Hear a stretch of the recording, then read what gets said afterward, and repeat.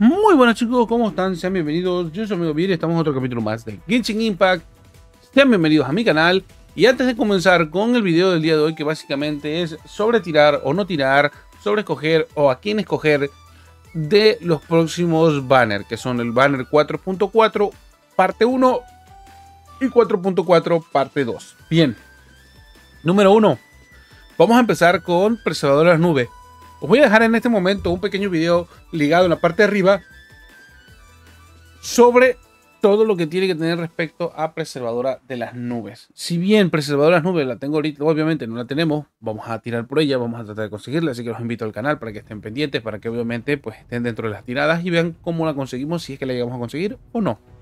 Pero por lo pronto ya tenemos un video donde desarrollamos cómo debe armarse preservador de nubes, cómo podría ser, si bien hay otras opciones, la mejor opción para mí es la que yo os he mostrado y creo que es la que va a más rendir, eh, va a dar un rendimiento mejor, sobre todo para las diferentes combinaciones de personajes. Bien, hablando sobre Preservador de Nube y no me voy a, alargar mucho, personaje que eh, está muy bonito, está muy bien diseñado, tiene un lore bastante bueno, bastante amplio del juego, precisamente porque es un personaje que ha incurrido dentro del, del lore de Liyue y que pues bueno, en ciertas situaciones y eventos ah, se ha manifestado todo el tiempo, sobre todo en el próximo evento que vamos a tener, que es el rito de las linternas, año con año. Ha sido partícipe de, esto. Y pues bueno, eh, ¿qué es lo bueno de Preservador de Nube? ¿Por qué debería tirar por Preservador de Nube antes de cualquier otro de los, tres personajes que van a poner? Además de Gaming, que obviamente va a venir con ella. Primero que nada, si tenemos a Xiao, que es lo más importante, pues Preservador de Nube nos va a venir a mejorar a Xiao bastante bien. Y además, bueno, pues si tenemos un Diluc por ahí que no tenemos casi no lo usamos, pero lo tenemos bien buildeado, pues puede llegar a funcionar bien. Esto obviamente todavía es un supuesto. No sabemos al 100% si va a funcionar muy muy muy bien con él. Además, Gaming va a venir con ella, con lo cual va a ser fácil de armarlo y que funcione de manera correctamente. Bien. Está especializada en curar y está especializada en aumentar el daño de los ataques de caída. ¿Vale? Con lo cual Además, tiene una habilidad que permite que los otros personajes diferentes a ella puedan elevarse de manera natural y volver hacia abajo para potenciar ese daño en caída. Con lo cual, pues bueno, está especializada en eso. Si ustedes tienen la necesidad de usar uno de esos ataques, pues yo tiraría por ella. En caso contrario de que no tengan a Xiao, no tengan a Diluc, no tengan a Gaming, pues yo considero que en ese sentido no es que sea mala, pero tampoco es que va a ser la para sea. Falta probar si el personaje llega a funcionar con algún otro personaje, podría ser un buen personaje. Pero fuera de ese rango de que vayas a usar ataques elevados con la constancia de que obviamente esos ataques tienen un pequeño margen de ataque menor a los otros ataques, pues hay que tener cuidado en ese apartado. Fuera de ello, pues bueno, ahí vamos a tener preservada la nube. Si quieres saber más información, os dejo el link, como ya dije. Y pues bueno, pasemos al siguiente personaje. Bien, en este caso, eh, acompañando a la preservadora de nubes, va a venir el personaje de Najida, la cual se puede jugar en diferentes funciones. Número 1 como soporte, número 2 como DPS. Bien, ya sea el rol que escojan con ella, es el mayor personaje que puede poner y arrastrar sobre todo eh, el conjunto de mm, daño de elemento dentro. Bien, como iba diciendo, en el caso de Nagida, pues puede usarse de dos maneras. Y bueno, es el personaje que aplica más dentro, llamémoslo así, de manera más, constante. Y esto es debido a que puede seleccionar varios personajes, hacer una rueda de esta manera y seleccionarlos. Y obviamente cada uno de ellos va a quedar con una marca. Y esa marca, pues obviamente al entrar en contacto con cualquier otro elemento que tenga reacción con dentro, pues va a tener una reacción específica con la reacción de dentro. Bien dicho lo anterior, además de ello, Najida puede con el Ultimate también pasar partes de su maestría a los demás compañeros, siempre y cuando no sea ella. Obviamente, en este caso, va a subir la maestría y obviamente de la maestría las reacciones. Las reacciones también van a tener un beneficio y obviamente van a ver beneficiado el daño de estas mismas, siendo que con poca maestría puedes elevar muchísimo el daño sin necesidad de una probabilidad crítica. Con lo cual viene bastante bien en ese sentido el caso de Najida. Y bueno, si lo quieren tomar como un caso externo, en algunos casos, como por ejemplo el caso de la build de Najida con eh, este otro personaje, con eh, Dios, con Nilou, podemos llevar a Nahida con un catalizador que permite que también ella se considere como un personaje de healer. Si bien no es un healer muy bueno, llamémoslo así, porque, bueno, de manera natural ella no cura, sino lo hace a través del catalizador, pues tiene una curación bastante constante para que los blooms se mantengan bastante bien y terminen haciendo un daño bastante elevado sin necesidad de que la party se mueva. Obviamente esto acompañado de un escudo con Shinkyu y obviamente acompañado de KB para que pues bueno tenga esa posibilidad de sacar un buen daño y mantener al equipo vivo. Bien. Más allá de eso, ¿qué otras cosas tenemos en Agida? Fácil de usar, fácil de aplicar dentro, un personaje bastante bien, además de Arconte, etc. Entre ella y la persona de las nubes, bueno, ¿a quién debería escoger? En este caso, y lo siento mucho, me llama mucho la atención, sobre todo porque es un modelo que me gusta, está muy afín a mis, términos de gusto de mujer. Preservadora de nubes es la que más me gusta de los dos, porque pues bueno, no soy lolicón y tampoco me gustan las chibi. Así que en ese sentido Najida no es mi preferida, pero bueno, si en este caso tengo que escoger por un personaje de utilidad, sinceramente eh, la utilidad que me va a presentar Preservadoras de nubes a la hora de arrastrar enemigos no considero que sea más relevante que lo que pueda hacer Najida sin necesidad de arrastrar. Además de la maestría que va a heredar por eh, el Ultimate, además de la fácil selección de personajes sin necesidad de arrastrarlos y aplicándoles dentro, pues en ese sentido Najida es mucho más superior que la personaje preservadora de nubes. Así que si tuviera que escoger entre una u otra porque no las tengo, Najida sería la opción más viable. Bien, en la segunda parte de los banners vamos a tener en este caso a Yaemiko y vamos a tener a Xiao. En este caso tengo a Venti representando a Xiao. Yaemiko, ¿vale la pena con respecto a, otros personajes? Bueno, en el caso de los primeros dos que ya mencioné, Yaemiko, pues bueno, tiene una alta movilidad en este sentido y obviamente su ultimate. Actualmente se usa con una build de maestría, en mi caso yo no la llevo con maestría. Normalmente la están usando actualmente con el set de... Eh, ¿Dónde está acá?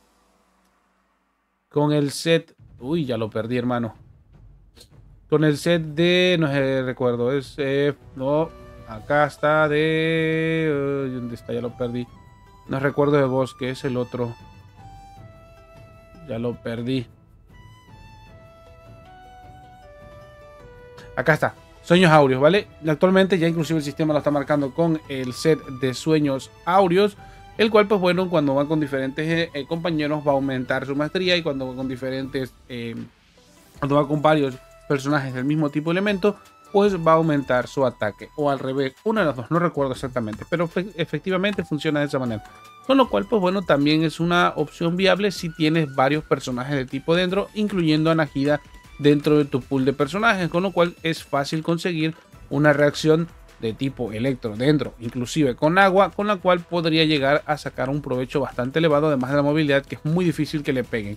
Es de esos eh, personajes que no necesita eh, atacar de lejos, con simplemente utilizar su E, moverse y tirar el ultimate y volver a resetear a través del ultimate la habilidad, pues terminará haciendo bastante daño sin necesidad de ponerse o exponerse a que le peguen de manera muy sencilla. Así que en ese sentido ya Miko es un buen personaje, vale la pena. No olviden también que tiene esta parte de aquí de eh, al fabricar talentos hay una probabilidad del 25% de tener otro de la misma región, con lo cual lo hace bastante bien en ese sentido como personaje.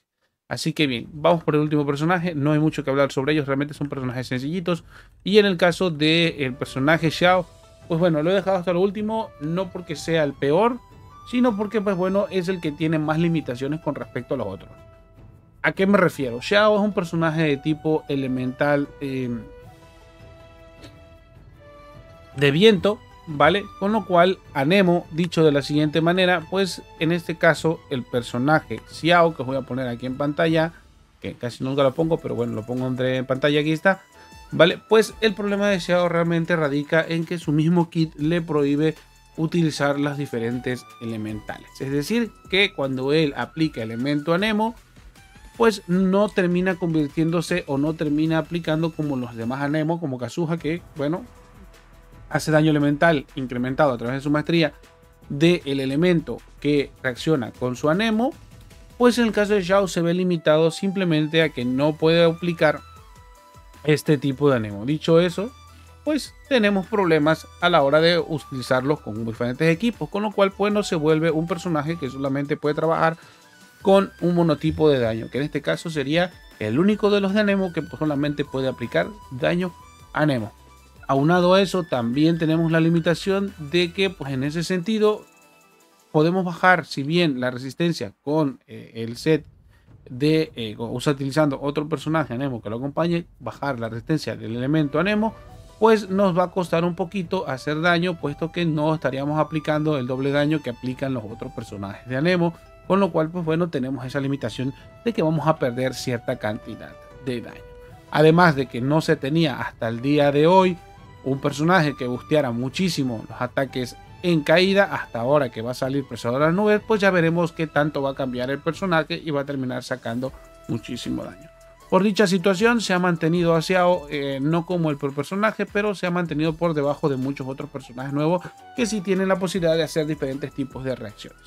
Bueno, Dicho lo anterior, entre Yaemiko y Xiao, ¿a quien escogería? Por movilidad escogería a Yaemiko y por daño pues escogería un poco más a Xiao en el sentido de que pues bueno, si bien aunque haga solamente daño de Nemo, sí hace un daño bastante elevado de en el caso de daño de real. Bien, en el caso de Yaemiko, si bien hace más daño en el sentido de tener Anagida, pues te requiere que tengas un personaje en específico mm sobre todo para que puedas sacarle el provecho. En este caso, siendo Najida un personaje requerido dentro de ese equipo de Yaemiko y que obviamente es un personaje que necesita mucho, mucho tiempo para buildearlo, al igual que el caso de Yao. Si tuvimos que escoger entre uno y otro por la gran eh, capacidad de eh, el daño de la maestría a través de Dendro, pues yo preferiría usar o tirar a Yaemiko si es que ya tengo a Xiao. Y si no lo tengo, pues también iría por Yaemiko precisamente porque Yaemiko es mucho mejor a la hora de que tener la oportunidad de mezclarse con muchos más elementos y obtener pues bueno una ventaja sobre todo en el abismo para diferentes tipos de enemigos.